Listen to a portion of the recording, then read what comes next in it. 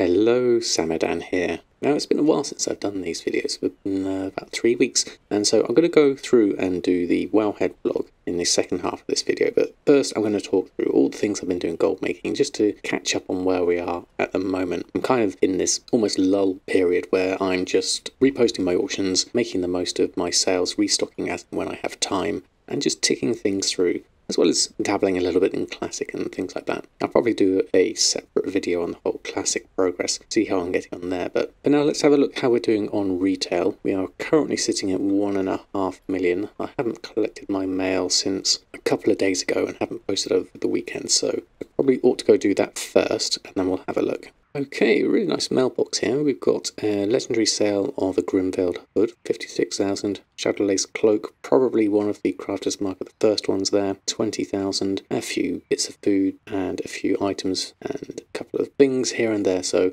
that's uh, that's a pretty good mailbox. I'll take that. And you might be wondering why I'm hanging around in Stormwind. I'm doing the daily quests here to get the recipes for the Epicureans Awards. This is nothing more than just purely recipe collection. I have a goal that I would like to get myself a little bit higher on the rankings in terms of where I'm at in collecting recipes. If we look here on data for Azeroth, when I um, put in all my characters, and this is account wide, so this includes all of my characters. If I go down to recipes here, I've got 57.5%. Um, I'm currently number 30 on Shadowsong, 37 on the Connected Realms, 1,500 on EU. So this is a target of me. This is a perfect thing to do during downtime whilst we're in this kind of lull period is I'm collecting up recipes, seeing what I can do. So one of those things for me at the moment is just to collect up the Epicureans Awards so that I can uh, pick up all of the uh, recipes here. Now I do believe we also have Time Walking coming up, which is on the 25th of May. So if I get some tokens then, I can trade those in for the small bags. I think it's small spice bag or something like that. And they will have Epicurean Awards awards in them as well. So that's going to be a good time to uh, finish up some of these recipes and just try and collect everything if I can. So that's kind of like a secondary thing we're doing at the moment. But first and foremost, at the moment at this stage, we're just really just sort of uh, listing auctions, doing whatever dailies each character needs to do, and and relist and repeat. Probably worth going back and doing my mission tables as well because those uh, are a nice bit of gold. But obviously that means teleporting around and things like that. So at the moment, I'm just doing these dailies. This is a nice easy one, just getting some pumpkins so we can just fly over and collect those up. Literally as simple as that, and then come and hand those back in. So that gives him one Epicurean award for that. And then I could use my uh, Loop of the Kirin Tor to teleport to Old Dalaran, go and do that one, and then that'll give me probably another two Epicurean awards, and then I repeat this you know, every day, and then I'll eventually get all the ones I needed. I did this a, a long time ago to get my chef's hat, um, which needed 100 Epicurean awards, which is invaluable if you're going to be doing any sort of cooking. But uh, it's a nice little fun thing to do, uh, especially this time of the expansion. There's always something to do as a gold maker. Okay, so what I'll do is I'll just jump through my other characters and collect up their gold on their mailboxes, and then we'll see what our final tally is for the moment. Okay, Bridget, my jewel crafter and engineer, doing well here. Flipping some excess ghost iron ore I had, and another legendary sale here, Shadowghast ring. Those sold really nicely, 68,000. That's pretty much most of the mailbox here. A few other bits and pieces that are ticking through, which are nice consistent sales. So I, I'm, again, really happy with this. So, leatherworking is ticking through nicely. We have the occasional crafted dreadful gear. Uh, we get a few sales of those every now and again to restock once in a while, and then the pallid bones. Occasionally I'll get the odd legendary sale, but I haven't got the full set of legendaries here. I'm waiting for 9.25 before I finish up that. So we'll add that to the coffers. And a similar situation with El Morty, my blacksmith here. A couple of little bit of items. Don't tend to get a huge amount, but the occasional ones come through makes it all worthwhile. So another 12,000 there. Okay, not a huge amount on Stabadan, my scribe. We've started getting into the glyph market on some of the old world glyphs, and I've collected up a fair few of them now already. This is going to be an ongoing progress, again with this recipe collection, seeing what I can do in terms of gaining in my diversity in my recipes, and that gives me more opportunities to make sales. I've got a feeling a lot of the Legion hard to get glyphs are going to be the ones where I could make some more money there, but I'll carry on relisting what I have and learning through any new recipes I can find. What I have done is taken alchemy and dropped herbalist So the eventual aim is to have both Alchemy and Inscription on this character. We're still not level 60 yet, we're still 53, so probably another thing to be doing in the spare time is to level up whilst I'm here and see what I can do in terms of just getting myself up to max level and then maxing out the professions as they are. Alchemy still has quite a few gaps, a lot in the unlearned tab here, obviously, and the same with Inscription. There's a lot to do here on Legion Inscription, Draenor Inscription, and Cataclysm Inscription. Started at the bottom and did Northrend Outland. Those are all done, so I'm going to work my way back up and collect up these, level up the professions, make sure I've got everything, and try and just chip away at this list, really. You can see here we're only at 29% of Inscription, so there's a long way to go in that recipe collection goal, but, but it's fun to do. I love professions and all the different things you can do with them. It's a shame a lot of these things are only really for collection purposes, but still, it's nice to be able to complete them. Now, Hellfire has been doing a little bit of flipping of her existing stock. She's got loads and loads of cloth and a few other bits and pieces and herbs that I picked up at a cheap price. So I've started selling that off just to see if I can make a little bit of extra cash and recoup some capital. You can see here it's paid off. Got a little bit extra here on the of Bloom, Heavy Desert Leather and Rising Glories, another 52,000 here. So I'll keep just uh, posting some of this on or using it up depending on profession and see if I can get some gold coming in that way. The eventual aim aim really at this point is just to keep on collecting enough gold to pay for my two accounts now, because I have two. Um, that's mainly for my classic adventures at the moment, but I will be looking to collect up enough tokens to be able to uh, buy one of those large bundles of character transfers and then I'm going to split my characters that I have on one account over onto two so that I can have both accounts open and both listing auctions at the same time just to increase my time efficiency. And then eventually once I've done all of that maybe I'll keep them in separate places or maybe I'll just combine them back together again at a later date when I only want one account. But for now I think depending on how it pans out with Dragonflight as well I might continue with two accounts gives me more flexibility that way. It does mean, of course, I have to afford two tokens each month, which currently at 283,000 means I need to make like just under 600,000 a month in gold. Now, I'm not sure whether I hit that target this month. Let's go have a look. So we are at 1.751 million here at the moment. That's quite a nice big rise actually, looking at that jump up there in our graph. Now we did buy a couple of tokens at this point. That was at the beginning of May, so we were at 1.8 million there. So looking, this, this is over the last month, so we are only early in May here at this point. So let's just take from here. This is our current progress. Let's look at that. So where are we at? Middle of May roughly at the moment. So are we on target? We were at 1.4 million. We're now at 1.7 thanks to that really nice mailbox we had here you can see things are just ticking through here with the restocks and the odd sales. So nothing huge. That was, was a really good mailbox, what we just had there over the weekend sales. Seven. So that is four, five, six, seven. So that is about 340,000. That's about three, so that's 362,000 in profit as we've got down here. Uh, in real terms, it's probably about 340,000 in terms of where we're at here once we take restocks into account. So halfway, we're definitely on target, I would say, uh, for the month. So we need to make another token, another couple of hundred thousand, and will be enough to pay for our, our month's gold making and then some. And then hopefully that will um, and that will start working towards giving us some more tokens as well. So I'm I'm really pleased with where we're at at the moment, and this is just maintenance really. I'm spending very little time actually playing the game at this point. I'm literally just logging on, listing my auctions as and when I have a convenient moment, usually on a second screen, and then occasionally I might get the odd half hour here or there to do a little bit of a restock or something like that. So so for from a maintenance point of view, it keeps me going. There's lots of fun things to do, lots of little mini goals I've got at the moment, collecting recipes and uh, expanding my empire into gold making and profession. So all in all, really happy with that. Okay, so let's talk about the Wowhead Economy blog for this week. So it's been, like I said earlier, it's a bit of a lull week in terms of things just ticking through with many people. And so we're waiting for the next bit of news to come through with Dragonflight. We did have a few updates on the community page, which I'll go through here. And then we'll talk about upcoming things, possibly with Classic, and um, things you can currently do with your gold making at the moment with the Crafter's Mark gear. So again, this thread that's um, on the community page, uh, we talked about it last week. There's a link to that there. And this week, Drow has been giving some very detailed information and clarification on to various bits of the professions as people have been asking. So this was particularly interesting, like the huge focus on group content worries you. This is from Mirasol. And I am in a slightly similar boat in that I don't really have a lot of time to play. And usually when I do like to play, I want to dip in and out at my own pace. Maybe something happens and I need to leave the desk for a while. And I can't really do that whilst I'm in the dungeon.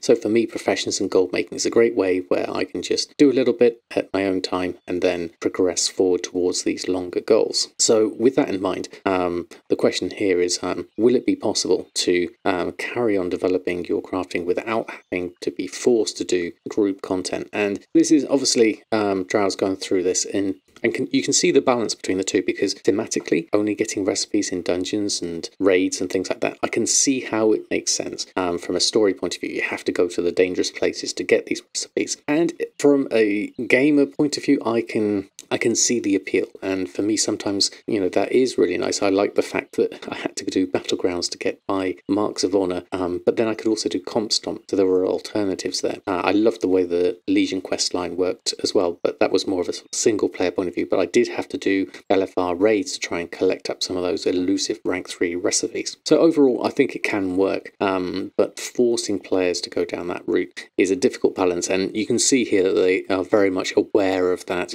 and so uh, they recognise that there's there's two different things here. Um, the one thing that was very very interesting here was um, the vast majority of recipes will continue to be acquirable through outside play as well. Um, it is possible some will come from dungeons or raids um, because they are great thematically and things like that. That said, uh, they are currently thinking that perhaps many, if not all, of these recipes will not be soulbound, so you can ask someone to go into instance and get them for you or buy them off the auction house. So that's a great way of appealing to both markets. You can go out and get it yourself if you've got the time or inclination, or you can buy it off the auction house if you can save up enough money for it. So I think that's that's a good solution. I'll be happy to see something like that being implemented. Although to go back on myself, it does take the fun out if you can just buy all your recipes quite easily off the auction house. So I think a bit of both, a few quest lines um, would be really nice from my point of view, something you can chip away at over time. So it's great that they're really thinking about these kind of things. Now, there were a few other snippets and um, bits and pieces in the thread that I've just picked out here as a little list of things. So going through, they haven't talked much about gathering yet. They will be adding a little bit of depth to the gathering, but they're not making them secondary. Say you could do that as, as part of your regular play without having to use up a profession slot for it. And there's also no current plans to make learned recipes account wide.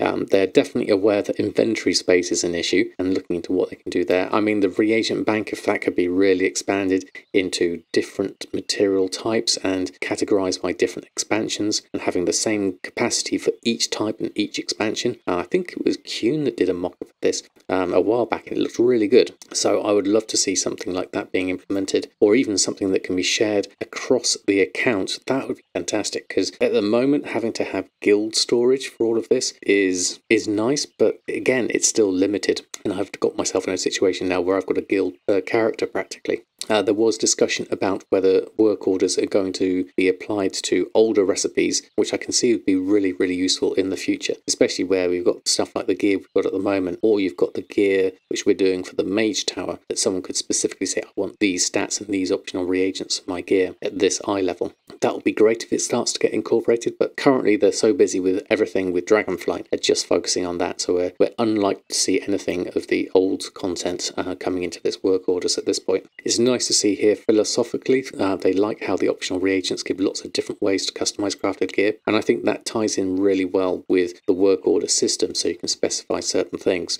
It's a little bit clunky with the auction house at the moment where you can't actually see in the listing without hovering over each of the items what specific stats or extra like progenitor enhancements something has. So it's nice to see that all this customization, and especially the stuff with the progenitor enhancements where it's not necessarily just stats, but a little something like the speed boost that you get or a certain effect um, is really nice to see and that gives a lot of variety. So it's nice to see that they are on the same level of that and they are um, they're trying to make it work certainly. At the moment, they're talking about are they going to expand the number of professions uh, learned by a single player? It's currently limited to two. And currently, they have no plans to expand that further at the moment. Um, maybe they'll they'll come into that later, though they did say that we'll look into it. And then this was in relation to using Darkmoon Fair for skill points and um, other things like that. Um, updating the Darkmoon Fair quest go very well with the over, overall update in terms of like going out in the world and collecting different things. So there may be some extra things you could do in terms of getting skill points through doing old content or going to far distant places in, in the current or different expansions. So I can, I can see a lot of flavour there in being able to get more depth into the professions. So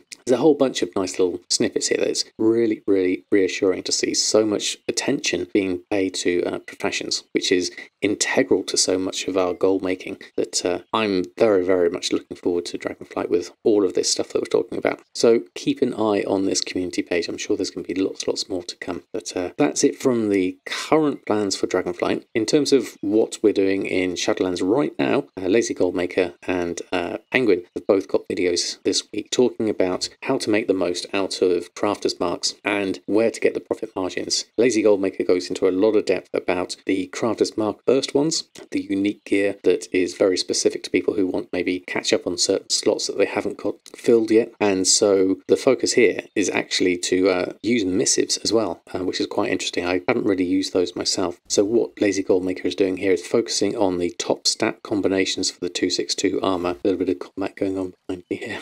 So uh, Lazy Goldmaker has been uh, focusing on the 262 gear and has fantastic success with this. And um, profit margin is really good here, 2,000 to 40,000 gold on a high population round. Because TSM can't handle crafting operations with missives, he's doing a lot of this manually. I personally are adding in the progenitor enhancements as well. And then if you watch the video or go onto this post, where's the post? Uh, here, this link here. This will take you to Lazy Goldmaker's actual post uh, about it. And the thing to look here is what Lazy Goldmaker talks about here is the extra specific missives, haste mastery, plate, uh, verse crit for mail, leather verse crit. So there's a lot of different things here that um, Lazy Goldmaker is focusing on with the missives to try and get the best stat combinations. So really recommend giving that video a watch and seeing how he goes through and makes the most of those crafters mark of the first ones. Now it's not all just the 262 gear, the catch-up gear and the novice crafters mark gear also has a niche for players at various levels. I personally add in the pure air sail extensions to all of my gear that I'm crafting, including novice crafters marks gear so that people have speed sets available to them and can race through the levels on the route from 50 to 60. And then once they get to 60, there's a, another set of speed set gear that they can put on straight away. So there's a there's a niche for everyone there. And uh, Penguin has a great video here going through and talking about all the sort of novice crafter's mark gear that still sells and how you can make decent profit with those and talks about the whole crafter's mark system in general. So this is currently at this point of the game a really solid way of making making gold right now, it doesn't really require a huge investment of time unless you're going to go all the way into the sort of 262 gear and getting the reputation for that. You can just start off with a novice crafter's mark gear and go from there. So current gold making, this would be my definite recommendation. So that's current retail gold making stories here. Uh, let's talk a little bit about Classic here. Now that Phase 5 of um, Burning Crusade has been released and Wrath of Lich King is hurtling towards us, I'm sure beta will come up very soon. Uh, no Hit Jerome has asked the threads here, uh, what's best for gold making in Classic? And so they've gone through a list of all the different things they're currently thinking of, um, with the fact that um, inflation is high and everyone is going through Sunwell Plateau at the moment and it's a difficult raid, so using a lot of consumer consumables, therefore herbalism mining for the materials, flipping items um, using TSM. Alchemy, obviously with potion mastery, should be good profit um, as people are constantly buying consumables for the raid, and mana potions and all this sort of things. I think that would be pretty solid. The same with food, and there's a few niche ones here, uh, Kibler's Bits and Fisherman's Feast as suggestions from a um, from a classic um, point of view. And then there was a couple of suggestions by other people, Mobile Shrine Bear, um, pretty much saying that gathering, because of uh, the and the sheer number of people trying to gather. Um, they don't they don't actually rate it that highly as a source of making gold per hour, but uh, a decent geared um, protection paladin farming old level 60 uh, five man content um, is going to be pretty uh, well off. And I've seen a video of people going through and doing things, Scholomance and think, places like that, and getting a decent amount of gold. So that's something I'm going to aspire to once I've got my characters up to uh, level 70. And, and a flip side to this, herbalism and mining will always bring regular, steady income because um, people will uh, will want to level up professions and have to go through all the different ores and all the different herbs and leveling professions, especially with inscription when it comes out in Wrath of the Lich King. People are still going to have to level up to 300 in the uh, in the classic sense. So I, I I agree with this one. I think herbalism and mining is going to be pretty solid for a decent um for a decent amount of gold coming in. Obviously, it all depends on how much time you have to bear and things like that. And enchanting as well is good for just the materials. Wrath comes out and we have vellums we can attach to enchants, I think that's going to really kick off as well. So there's a lot of interesting niches coming out. I'm really looking forward to uh, the way Classic is shaping up. I'm definitely going to be getting into Wrath of the Lich King once it comes out. Doing a little bit of preparation on that at the moment. I'll, like I said earlier, I'll do a separate video on my Classic journey and see how that goes. But that's it for the uh, the Wowhead blog this week. I hope you enjoyed that. There's a bit of something for everyone in there, and I hope you've been enjoying the game in whichever form you play it in. Uh, there's always something to do as a gold maker. Whatever goals you might have, whether you're collecting recipes, uh, finding out what farms to do, or you're just new to gold making and you don't know where to start, and you're just finding your feet. So I hope that was useful. Good luck in your journeys, wherever they may be. And until next time, happy gold making, and I'll see you very soon.